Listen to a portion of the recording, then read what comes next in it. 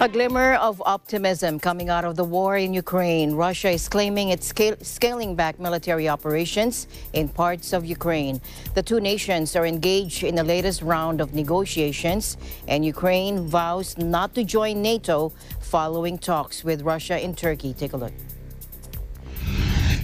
Ми, як це вимагає сьогодні Конституція України, не будемо розміщувати на нашій території іноземні військові бази, А також не будемо розміщувати на нашій території військові контингенти, і ми не будемо вступати в військово-політичні союзи.